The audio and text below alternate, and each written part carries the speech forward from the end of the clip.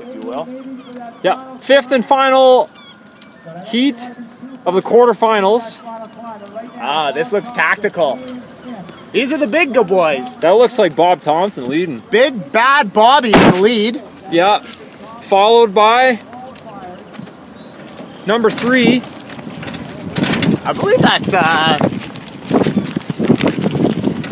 Julian Smith, Julian Smith.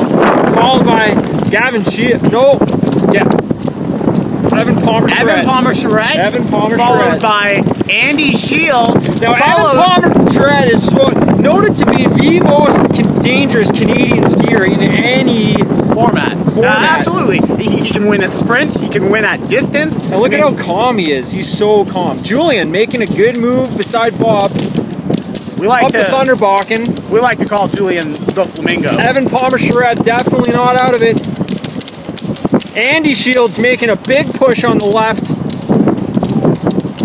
But Evan Palmer Charrette looking very comfortable. And Graham Ritchie just powering up the climb. Bib 5. 12th at World Juniors last year. That earned him a nomination with the national ski team in Canada.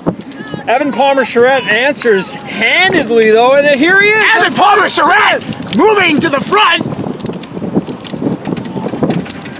Julian hanging on strong.